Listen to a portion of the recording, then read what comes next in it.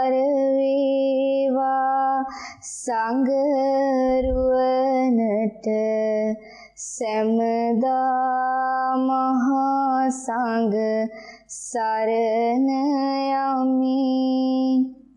නමස්කාර වේවා තුනුරවනට සැමදා තිසරණ සරණ යමි සාදු සාදු සාදු නමෝ බුද්ධාය ශ්‍රද්ධාවන්ත පින්තුනි මේ වැඩසටහනෙන් අපි පහුගිය දවසක ඉගෙන ගත්තා මහා ප්‍රජාපති ගෞතමී රහත් තෙරණින් වහන්සේගේ අතීත ජීවිත කතාවන් පිළිබඳව. පින්වතුනි මේ රහත් තෙරණින් වහන්සේලා කියලා කියන්නේ මේ ගෞතම බුදු සසුන ශෝභමාන කරපු අතිශයින්ම සුන්දර පිරිසක්. පින්වතුනි එක දවසක් එක රහත් තෙරණින් වහන්සේ නමක් මේ විදිහට කියනවා. මං ඉපදිලා හිටියේ ගොඩාක් ධනවත් පවුලක. මම ධනවත් සිටුවරියෙක්ගේ කුමාරිකාවක් වෙලා දූ කුමරියක් වෙලා ඉපදිලා හිටියේ. මං ගොඩාක් ලස්සනයි ඒ කාලේ. ඉතින් ඒ කාලේ ගොඩාක් රාජ කුමාරවරු, සිටු කුමාරවරු මං පතාගෙන හිටියා. දූතයන් පවා එව්වා. දියණිය මට පාවා දෙන්න කියලා මගේ පියාට. ඒ වුණාට ඒ අවස්ථාවේ ඒ රාජකුමාරවරු සිටුවරු එක අවස්ථාවක කියනවා ඔබේ ඔය දූ කුමරිය තරාදියක එක පැත්තකට දාලා අනිත් පැත්තට ඒ බරට හරියන්ට රන් රිදී මිල මුදල් මුතු මැණික් මේ දේවල් දාලා නම් ඔය කුමාරිකාව අපට දෙන්නේ අප ඊට වැඩි අතගුණයකින් ඔබට ධනෙ දෙන්න සූදානම්. ඉතින් ඔය කුමරිය මට සරණ පාවා දෙන්න. මේ විදිහට ඒ රජ කුමාරවරු සිටු කුමාරවරු කිව්වා. ඊතරම්ම ධන ධාන්‍ය භවභෝග සම්පත්, රූප සම්පත්තිය, ලාභ සත්කාර, ප්‍රශංසා මේ හැම දෙයක්ම මට තිබුණා. හැබැයි දවසක් මට බුදුරජාණන් වහන්සේගෙන් ධර්මය අහන්න ලැබුණා. උන්වහන්සේ ධර්මය දේශනා කරනකොට ඒ වාඩි වෙලා හිටපු ආසනයේම මං අනාගාමි ඵලයටපත් වුණා. ඉතින් මං ඒ ගිහි සැප සියල්ල අත්හැරලා දාලා බුද්ධ ශාසනය කසාවත් දරාගෙන පැවිදි වුණා. පින්වතුනි එවන් වූ රහත් තෙරණින් වහන්සේලා බිහි වෙන්න පවා පුරෝගාමී වුණ ඒ මහා ප්‍රජාපති ගෞතමී රහත් තෙරණින් වහන්සේ මේ සසර එනකොට ඒ රැස් කළ පින් බලෙන් ගෞතම බුදුරජාණන් වහන්සේ මේ ලෝකෙට පහළ වුණ කාලේ මේ මනුස්ස ලෝකෙ ඉපදුන ආකාරය අපි පහුගිය දවසක දැනගත්තා. පින්වතුනි මෙවන් වූ මේ රහත් තෙරණින් වහන්සේලා ගැන අසන්ත ලැබීම පවා අපි ලද වාග්යක් කොට සලකන්න ඕනේ. පින්වතුනි එක දවසක් මේ මහා ප්‍රජාපති ගෞතමිය දේවිය සිවුරකුත් අරගෙන භාග්‍යතුන් වහන්සේ ළඟට යනවා. ගිහිල්ලා භාග්‍යතුන් වහන්සේට වන්දනා කරලා වාඩි වෙලා කියනවා ස්වාමීනි භාග්‍යතුන් වහන්සේ මං අතින්මයි මේ සිවුර සකස් කළේ. මේ සිවුරට ඕනේ කරන කපු පුළුන් මං අතින්මයි සකස් කරේ. ඒ කපු කැටලා පුළුන් අරගෙන මේ සිවුරට ඕනේ කරන නූල් සකස් කළෙත් මම. මේ සිවුර මැහුවෙත් මම. මේ සිවුර පඩු පෙව්වෙත් මම. හොඳට හොදලා සකස් කරලා අරගෙන ආවේ ඔබ වහන්සේ වෙනුවෙන්මයි කිව්වා. පින්වතුනි මේ වෙලාවේ බුදුරජාණන් වහන්සේ දේශනා කරනවා පින්වත් ගෞතමිය ඔය සිවුර සංඝයාට පූජා කරන්න. සංඝයා උදෙසා පූජා වේවා කියලා පූජා කරන්න. එතකොට ඔබ සංඝයාත් පිදුව වෙනවා මමත් පිදුව වෙනවා. එනිසා ඔක සංඝයාට පූජා කරන්න කිව්වා. ආයමත් මේ ගෞතමී දේවිය මම ඔබ වහන්සේ උදෙසාමයි මේ සිවුර සකස් කළේ. ස්වාමීනි ඒක අනුකම්පාවෙන් පිළිගන්න. ආයමත් භාග්‍යතුන් වහන්සේ වදාරනවා ගෞතමී සංඝයාට දෙන්න. එතකොට මාවත් පිදුව වෙනවා සංඝයාත් පිදුව වෙනවා. ආයමත් කියනවා ගෞතමී දේවිය. ඒ වෙලාවේ ආයමත් බුදුරජාණන් වහන්සේ දේශනා කරනවා සංඝයාට දෙන්න. පින්වතුනි මේ විදිහට මේ මහා ප්‍රජාපති ගෞතමී දේවිය භාග්‍යතුන් වහන්සේගෙන් මේ බුද්ධ ශාසනයේ ස්වභාවය ගැන මේ මහත්ඵල මහානිසංස පින් රැස් කරගන්න ආකාරය ගැන මේ භාග්‍යතුන් වහන්සේ අවබෝධ කරගත්ත මේ ගැඹුරු ධර්මය ටිකෙන් ටික ඉගෙන ගත්ත පින්වතුනි.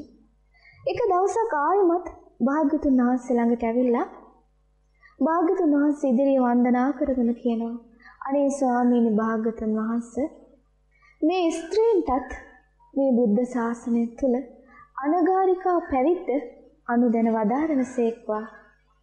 ඒ වෙලාවේ භාග්‍යවතුන් වහන්සේ වදාරනවා ඒ විදිහ කතාවක් ආයමත් කියන්න එපා කිව්වා. ඉතින් මේ ගෞතම දේවිය ආයමත් කියනවා. ආයමත් භාග්‍යවතුන් වහන්සේට ප්‍රතික්ෂේප කරනවා.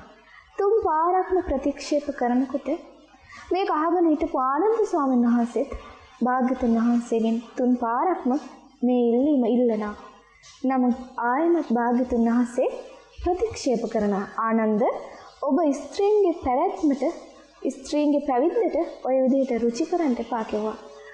ඉතින් මේක ප්‍රතික්ෂේප වෙනකොට මහා ප්‍රජාපති ගෞතමී දේවිය මාලිකාවට ගිහිල්ලා එක දවසක් යශෝදරා දේවිය ඉන්න ඒ මාලිකාවට එනවා. ඇවිල්ලා යශෝදරා දේවිය ළඟට යනවා. යනකොට යශෝදරා දේවිය අහනවා මෑණියනි මේ ආවිලාවේ අයියෝ බාවි.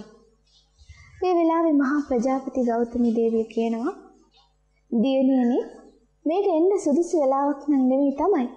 ඒ වුණාට අපි තවත් ප්‍රමාද විය යුතු නැහැ. අපි යමු ගෞතම බුදුරජාණන් වහන්සේ ළඟට. අපේ බුදුරජාණන් වහන්සේ ළඟට ගිහිල්ලා අපි මේ පැවිද්ද ඉල්ලමු. උන්වහන්සේ වළඳන ඒ ප්‍රණීත වූ අමා නිවන් රසය වළඳන්ට අපිටත් අවශ්‍යයි කියලා අපි කියමු. ඒ ගෞතම බුද්ධ ශාසනය ඇර වෙන කිසිම සැප සම්පතක් අපිට අවශ්‍ය නැහැ කියලා අපි කියමු.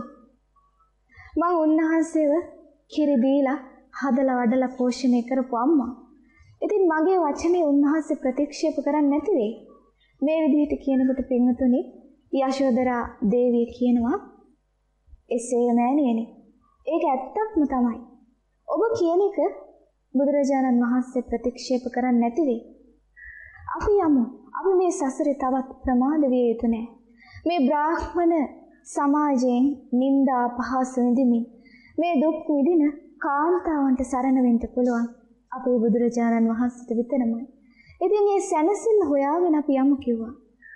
ඒ වෙලාවේ යශෝදරා දේවිය කියන අපෙමුතුනේ මෑණියනි මේ බ්‍රාහ්මණයන්ගේ වසල වාදයට ලක්වන මේ අඩුකුලේ ඉපදුන පුරුෂයන් පවා මේ බුද්ධ ශාසනය තුල පැවිදි වෙලා අරහත් දජේ දරාගෙන මේ විමුක්ති සුවය විඳිනවා. ඉතින් මේ බුද්ධ ශාසනය තුල කාටවත් වෙනසක් කරන්නේ බුදුරජාණන් වහන්සේ. ඉතින් මං හිතන්නේ මේ ස්ත්‍රී බව ඒ විමුක්තිය සාක්ෂාත් කරගන්න බාධාවක් කියලා. ඉතින් නෑනේනි අපි යමු කිව්වා. ඒ වෙලාවේ මේ ආරංචිය දැනගත්ත ඒ ශාක්‍ය වංශයේ ඉපදුනේ කුලංගනාවන් බොහෝ පිරිසක් මේ කිඹුල්වත් නුවර සුද්ධෝදන රාජමාලිගයට එකතු වුණා පින්වතුනි. එකතු වෙලා මෙයාලට දැනගන්න ලැබුණා මේ යශෝදරා දේවියත් මහා ප්‍රජාපති ගෞතමී දේවියත් මේ විදිහට මේ හැම සැප සම්පතක්ම අත්හැරලා දාලා බුද්ධ ශාසනයේ විමුක්තිය හොයාගෙන යනවා කියලා. මේ අයත් කිසිම අකමැත්තකින් තොරව එක හෙලාවම කැමති වුණා ඒ විමුක්තිය හොයාගෙන යන්න. පින්වතුනි හිමාලයේ ඉන්නවා කණේරුකා කියලා හස්ති රාජිනිය. මේ හස්ති රාජිනියක් ඒ හිමාලයේ තියෙන සුගන්ධිකා කියන ඒ පොකුණට බැහැලා ඒ ලා නිලුම් දඬු පාගලා සුණු විසුණු කරනවා වගේ මේ ආශාවෙන් බැඳුන සියල්ල අත්හැරලා දාලා ඒ විමුක්තිය සාක්ෂාත් කරන්ට ඒ කුල කාන්තාවන් මහපාරට බැස්ස පෙනුතුනි. ඒ අය අර සිනිඳු පටපිලි ගලවලා දාලා කසාවත් පුරවගත්තා. ආභරණ ගලවලා දැම්මා. ඒ වගේම අභිනීල කීෂ කලාපයන් කපලා දාලා හිස මුඩු කරගෙන අවලස්සන වුණා. දෙපා ලස්සන කරන්ට ගාලා තිබුණ ඒ ලාක්ෂ හොදලා දැම්මා. මිනි නූපුර ගලවලා දැම්මා. මේ ඔක්කොම අත්හැරලා දාලා ඒ කසාවත් පොරවගෙන අර කුණු දුහුවිලි වලින් පිරුණ හිරු රශ්මිය අධික වන මහ පාරට බැහැලා භාග්‍යතුන් වහන්සේ හොයාගෙන සවැත් නුවරට ගියා. පින්වතුනි සවැත් නුවරට යනකොට යොදුන් ගාණක් ගමන් කරන්න තියෙනවා. ඉතින් මේ විදිහට යනකොට පින්වතුනි මේ විල්ලුද අතුරපු ඒ සයනවල ඒ යහන්වල නිදාගත්ත ඒ වගේම මේ සිනිදු සලු අතුරපු මේ බිම ඇවිදපු මේ සියුමැලි කුල කාන්තාවන්ගේ මේ දෙපා පැලිලා අර හිරු රශ්මියට පැලිලා පිපිරිලා ලේ ගලන්න පටන් ගත්තා. හැබැයි තමන්ගේ අරමුණ සාක්ෂාත් කරගන්නතුරු ඒ කාන්තා පිරිස මග නතර වුණේ නැහැ. බලාගෙන හිටපු බොහෝ දෙනා සංවේගයටපත් වුණා. මෙච්චර ලස්සන, මෙච්චර සියුමැලි මේ කුල කාන්තාවන් කසාවක් දරාගෙන මේ විදිහට විමුක්තිය හොයාගෙන යනවා කියලා. සිංහතුනි මේ කුල කාන්තා පිරිස මේ විදිහට ගොඩාක් වෙහෙසටපත් වෙලා භාග්‍යතුන් වහන්සේ හොයාගෙන සවැත් නුවරට යනකොට භාග්‍යතුන් වහන්සේ සවැත් නුවර වැඩ හිටියේ නෑ. ඉතින් මේ අය වෙහෙස ගැන හිතන්නේ නැතිව භාග්‍යතුන් වහන්සේ රජගහ නුවර වැඩ ඉන්නවා කියන ආරංචියට රජගහ නුවරට ගියා. හැබැයි රජගහ නුවරත් භාග්‍යතුන් වහන්සේ වැඩ හිටියේ නෑ.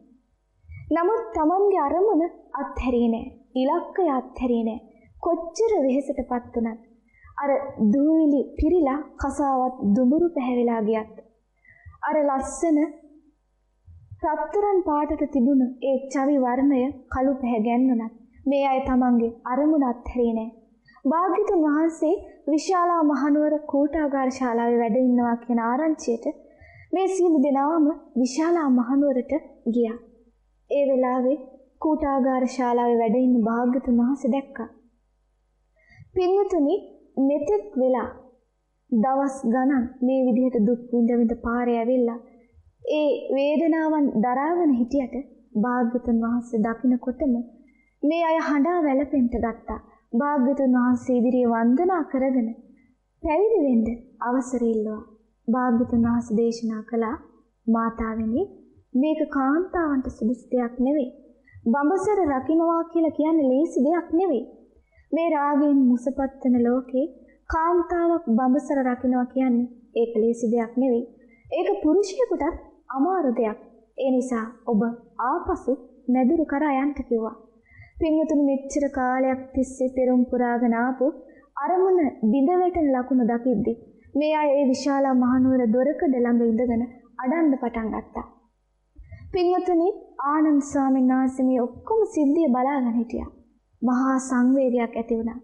ආනන්ද ස්වාමීන් වහන්සේ භාග්‍යතුන් වහන්සේ ළඟට ගිහිල්ලා කියනවා ස්වාමීන් භාග්‍යතුන් වහන්සේ යම් කිසි කාන්තාවක් නුවණින් සිහියෙන් වීරියෙන් ගුණයෙන් පිරිපුන් වෙලා හොඳට පිරිසිදුව මේ බඹසර සිල් රකින්නවනම් මේ ශාසන පිළිවෙතෙහි යෙදෙනවනම් ඒ කාන්තාවට මේ විමුක්තිය සාක්ෂාත් කරන්නට බැරිද කියලා ඇහුවා.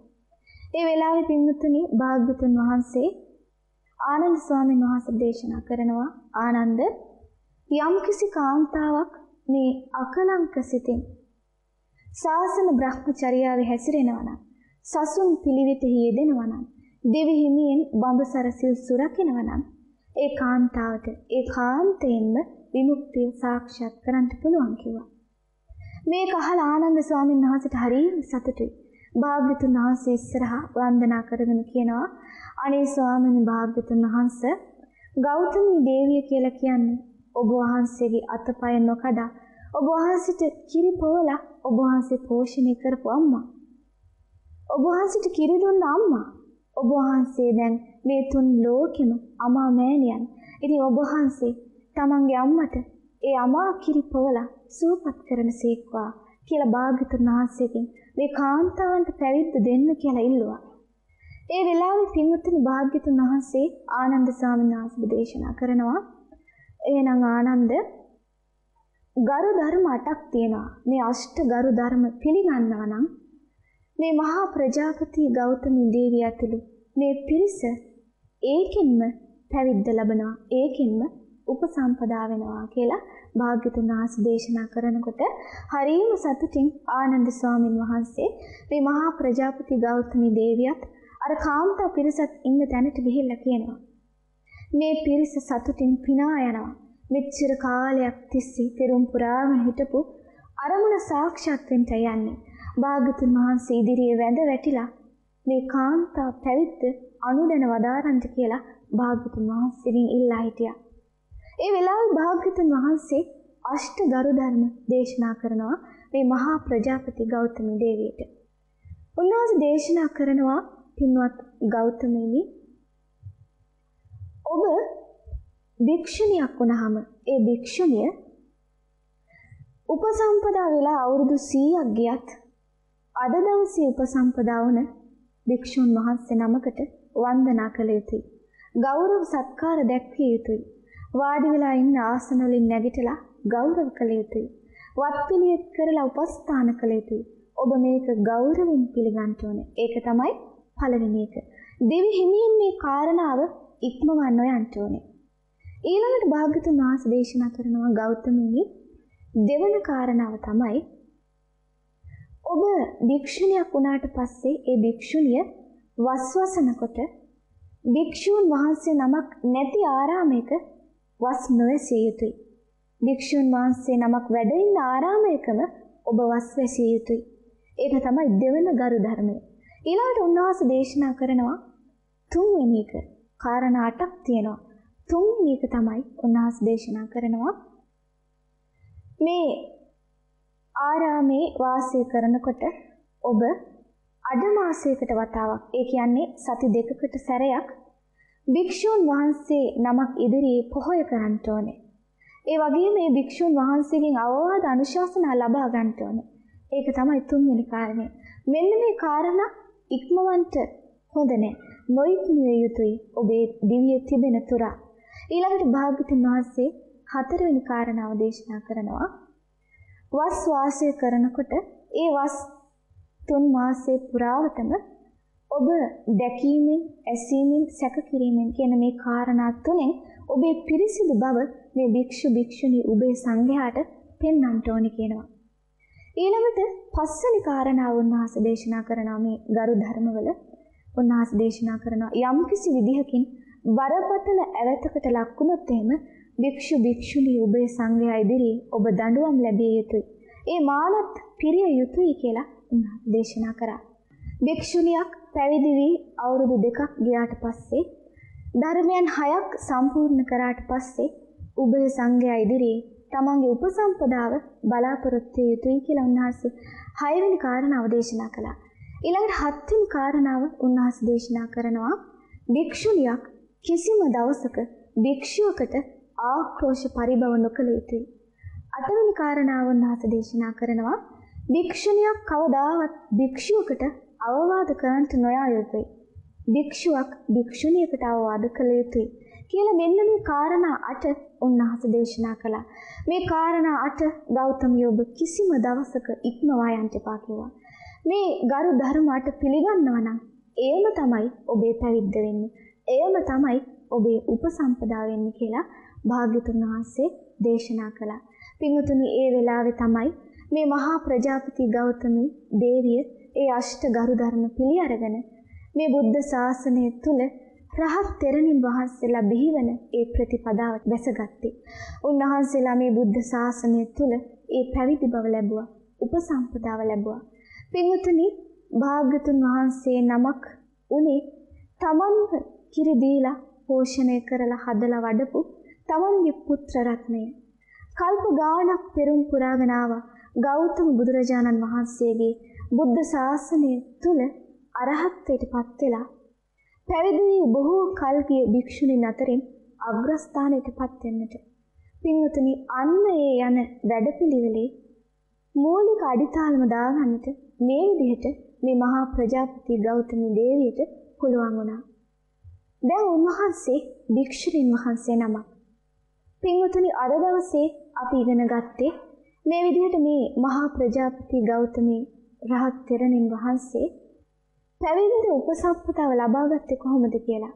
මේ විල් අත්හැරලා යන හංසය වගේ පහසුවෙන් මේ ගිහි ජීවිතයේ විඳපු සැප සම්පත් සියලු දේ අත්හැරලා දාලා ඇවිල්ලා මේ බුද්ධ ශාසනය කොහොමද පැවිද්ද ලැබුවේ කියලයි අද දවසේ අපි දැනගත්තේ.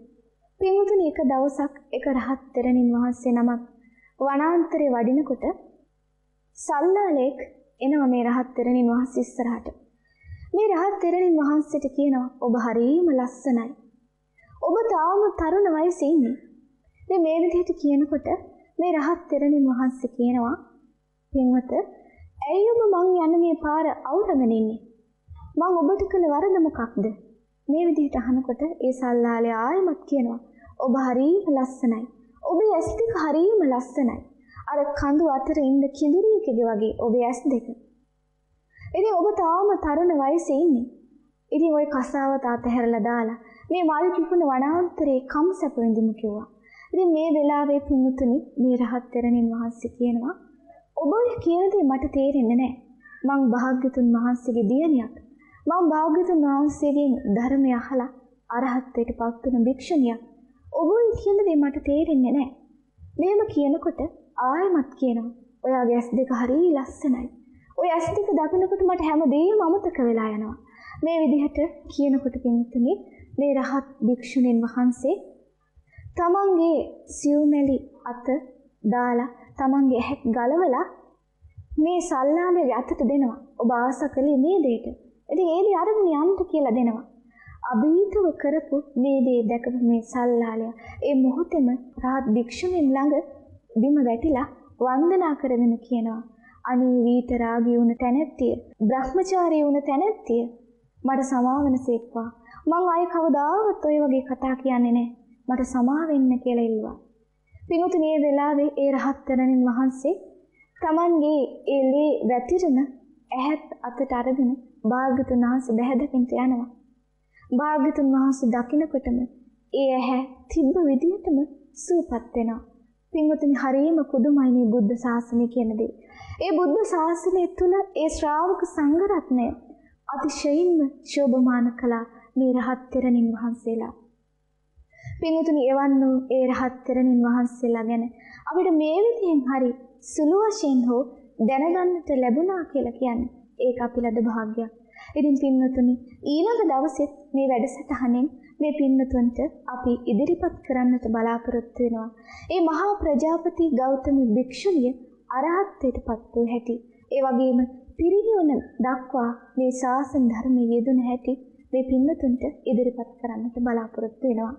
ඉතින් එතෙක් මේ පින්වතුන් සියලු දෙනාටම තෙරුවන් සරණයි. නමෝ බුද්ධාය. Thank you.